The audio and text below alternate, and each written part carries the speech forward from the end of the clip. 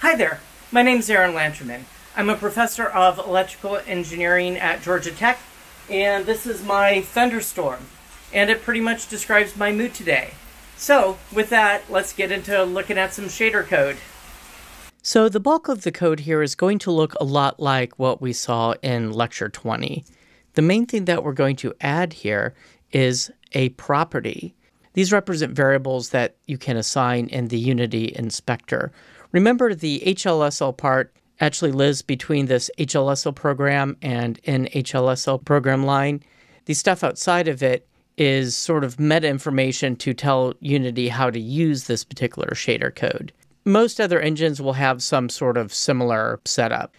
The variable name you see here, the underscore base tex, this is the variable as it will appear inside the actual HLSL program. I don't think you have to have the underscore here, but Unity has a convention of putting an underscore on these properties, so I'm going to stick with that. And again, the rest of this line is also fairly Unity specific. The base RGB that you see here in the string, this is how this property will be labeled in the Unity inspector.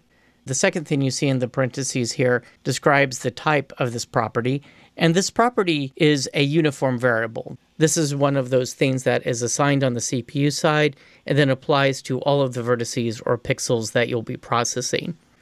And this white with this little open and closed brackets, this basically sets up a default.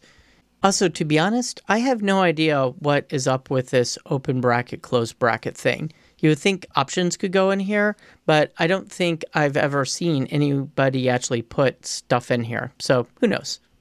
So the various compiler directives we see here for HLSL are what we saw in the last lecture. Nothing new here. So there's one particularly confusing issue about dealing with the semantics of texture coordinates. And by semantics, I mean these things in capital letters that define the behavior of hardware registers on the card. Semantics is, of course, a more general term that you use when talking about programming languages. Anyway, the main issue is that this TEXCOORD 0 is not at all the same as this TEXCOORD 0. So this TEXCOORD 0 connects the output of the vertex shader through the interpolation hardware that creates all the interpolated UV values here for the various pixels created by a particular triangle. Whereas in contrast, this TEXCOORD 0 is connected to the CPU side through your API. I would much have preferred it if this TEXCOORD and this TEXCOORD were named different things.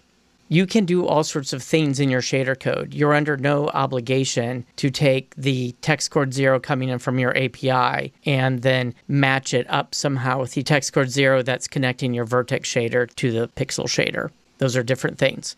Now, what makes it extra confusing here is is we are kind of treating them as the same thing because all we're doing here is taking the texture coordinate in and the vertex texture coordinate is, is then just spitting it right out unchanged in this particular example.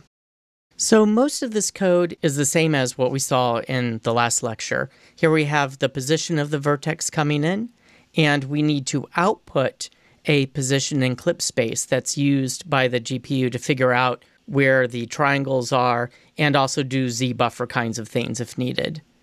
Here we are converting the position in object space to world space. This little weird thing of sticking the one here is kind of odd. You don't really have to do this. You could just do a direct 4x4 multiply. But this here hopefully hints to the compiler that it could do some optimizations. And then we take the position in world space and then run through the view and projection transformations to get that coordinate in clip space. And then we spit that out. So what are we doing with the texture coordinates here? In addition to each 3D vertex having a position, as we've seen before, it will have a 2D coordinate. The coordinates here in Unity are called UV. Some other engines might use another convention where they use the letters S and T. And people use the coordinates UV or S and T because x and y are already taken by our 3D coordinates xyz. And then those 2D texture coordinates represent a lookup into an image that's the texture stretched around the object. And all we're doing here is taking the UV coordinate coming in and just sending it right back out unchanged. That UV coordinate that comes out, of course, runs through the interpolation hardware. So the fragment shader is going to do a texture lookup, not just on one of the three coordinates produced as a result of passing along the texture coordinates for the three vertices of that triangle, but however many dozens or hundreds of pixels are created in the rasterization process. So we're looking up interpolated coordinates here. So that's how you can get a nice image to show up instead of just a big blah. Now, it's very important then that the actual texture lookup you do, which is performed by this tex2D command, takes place in the pixel shader. If you see a tex2D reference up here in the vertex shader, there might be some weird reason to do that, but for the most part, you usually don't want to. Modern shader models that you will find on any reasonable platform can do texture lookups in the vertex shader if for some reason you wanted to. Earlier shader models, earlier GPUs, actually would only have texture lookup capability in the pixel shader because that's where you generally need it. So the tex2D command does the lookup for us. You give it the name of a texture variable, and then you give it a two dimensional coordinate. It goes and does that lookup. At this point, when it does that lookup, it will do the image interpolation, the texture interpolation that we looked at in an earlier lecture, and they pick the interpolation technique based on the flags that you set in your API. And if you're using Unity, these are things you generally set in the inspector for a particular texture. So here we're going to read that texture, and without doing any lighting or anything else complicated, we're just going to return that RGB alpha value. It's important that we do that with this color semantic because that's then what tells the GPU this is an RGB, send it to the buffer, and perhaps interpret the alpha in different ways, again, depending on how you set behavioral variables in your API. Notice that before I provided the code for the vertex shader and the fragment shader, we have a declaration. So here we're declaring the base tex variable with that underscore, this uniform variable, to be a sampler 2D, which basically means this is a 2D texture. Notice that I do have to declare it in the shader code proper. It's not sufficient to just declare it here in the properties. Also, as you might guess, Unity will complain or otherwise weird things might happen if the type, as indicated here in the properties list, is incompatible with the particular type given in the shader code itself.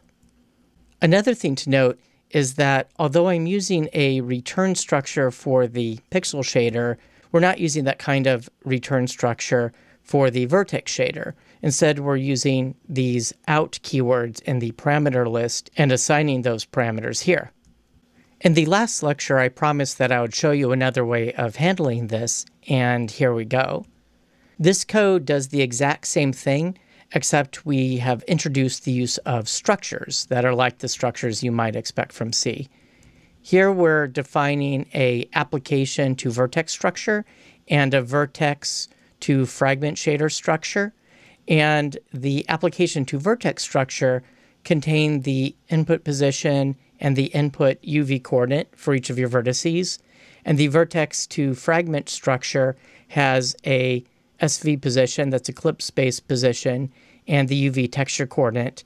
And all of the underlying logic here is the same.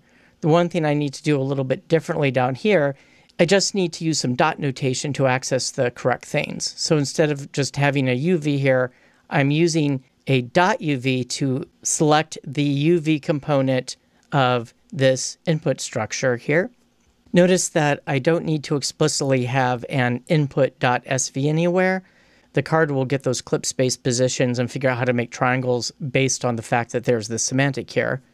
Again, I would like to emphasize that the TEXCOORD 0 that you see up here, this UV component, is not the same as the TEXCOORD 0 coordinate here that's used to connect with the pixel shader.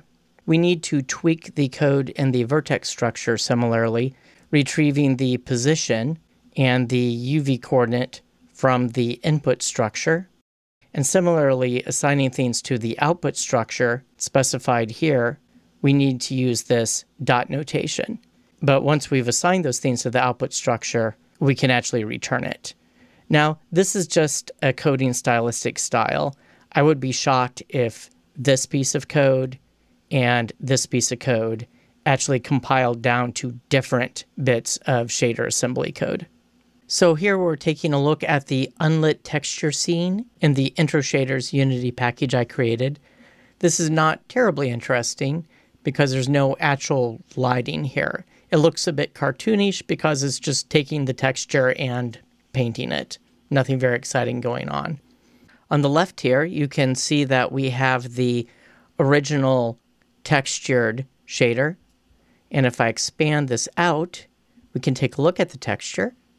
So this is the base RGB. That corresponds with the base RGB you see, you see in the string in the shader code. We could try something else like putting the sword texture on it, which looks weird. Let's undo that. And then the next one over, we have the textured struct shader. And as I said, this operates exactly the same. It's just a different coding style. Now, one thing you're supposed to be able to do in Unity is to put in some offsets here to change the texture coordinates going in. Oh, but that doesn't do anything. Hmm, that seems to be a problem. And you should also be able to apply a scaling factor to the coordinates going in. Say if you wanted to repeat this texture, like for a brick wall or something. Oh, but changing that doesn't do anything either. Well, to be able to handle this, we have to do something a little bit extra. The sword and shield on the right here are using another shader I called texture tile correctly. And if we use this, well, then we can properly mess around with the tiling. Oh, let's change that to be 10 and 10. Ah, you see a bunch of little shields there. You can do it differently in each direction and stretch it out in different ways. That's kind of fun. Let's stretch it out the other way. Okay, that's fun too. Or you can also offset the shield. Like if I put 0.5 here and 0.5 here, then it's grabbing another part of the texture. Anyway, in order to facilitate that functionality, we have to slightly tweak the code. So here's how to fix that. And this is annoyingly quite Unity specific. The Unity shader compilers would like you to take all of your textures and create a float4 variable that has an underscore capital S, capital T appended at the end. This is very, very Unity specific. And then there's a macro, which you can actually go look up in the various include files and the Unity shader source code. And you give this macro a UV texture coordinate and the texture you want to look up, and it will substitute in the couple of transformations needed in order to incorporate that business from the inspector for handling, scaling, and shifting textures.